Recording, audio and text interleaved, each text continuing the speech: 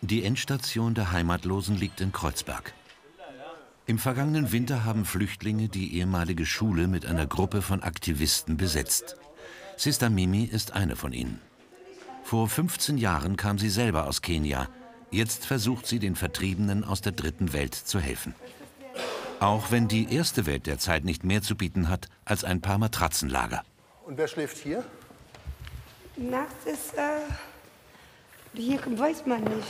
Egal wer kommt, kann sich Platz suchen. Alle Matratzen sind besetzt. Die meisten kamen übers Mittelmeer. Viele sind mit äh, im Boot gewesen und ein paar Leute haben die verloren auf dem Weg. Und viele sitzen immer noch mit diesem Trauma. Ne? So auch der 19-jährige Darlington aus Nigeria. Vor zwei Jahren floh er vor der Gewalt islamistischer Terroristen. Heute kämpft er gegen die Einsamkeit im deutschen Rechtsstaat. Ich bin völlig allein in dieser Welt.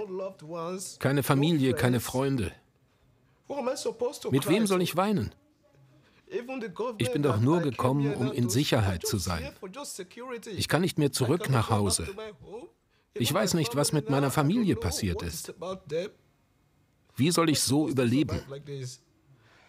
Weil die Bewohner keinen Asylstatus haben, dürfen sie nicht arbeiten. 200 sollen es mittlerweile sein. Seit Montag gibt es für alle eine Dusche, installiert vom Diakonischen Werk. Auch Kinder leben hier. Ob sie zur Schule gehen, wird von keiner Behörde geprüft.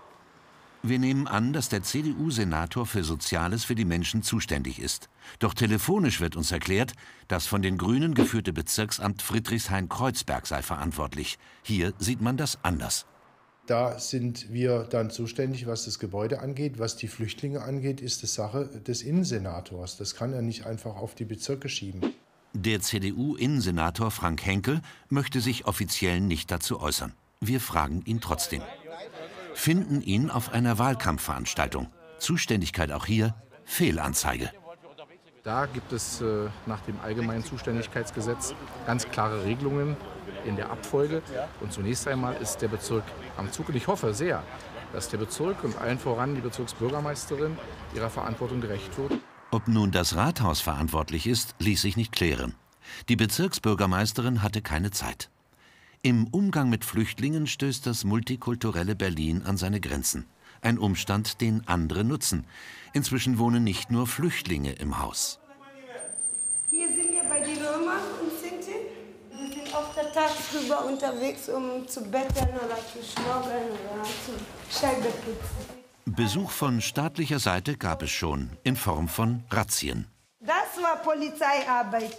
Der liebevolle Polizei. So gehen die mit uns um. Tja, das hat keine Flüchtlinge da durchgebissen oder so. Und es ist geschlossen, muss man auch respektieren. Da, da schlafen die paar Familien. Wenn man durch Kamera sieht, kannst du die Fahrräder von Kindern sehen. Da sind auch ein paar Kinder. Also überall. Vor dem Haus wachsen die Abfallberge. Eine geregelte Müllabfuhr ist nicht vorgesehen. Dann kommen die Fliege und dann heißt es, hier stinkt. Dabei sind die Menschen gar nicht schuld daran. Das ist äh, halt, dass wir keine Möglichkeit haben. Wenn wir die Pappkarton äh, hier Tonne haben, die Leute würden das zusammenfalten und äh, machen wir mit Müllsortierung. Das Bezirksamt lieferte ein paar Mülltonnen. Den Rest sollen die Bewohner selbst erledigen. Das Objekt ist besetzt worden. Und äh, wenn jemand ein Haus für sich in Beschlag nimmt, also könnte man sagen, muss er sich auch darum kümmern. Die jüngste Idee des Bezirks?